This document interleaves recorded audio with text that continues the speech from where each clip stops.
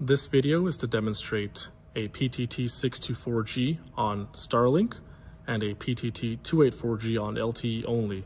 The 624G is both Wi-Fi and LTE capable, whereas the 284G is only LTE capable.